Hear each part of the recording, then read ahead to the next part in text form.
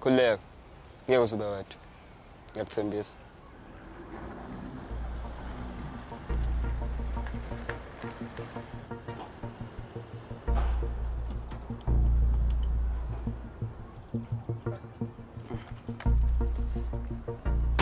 Ayibo. Sibonelo. wena ngena emotweni Angifuni. njani? Ngithe ngene emotweni okanye angikhulumi nawe ukhuluma ukhuluma ukhuluma. Ukhuluma. Usibonelo.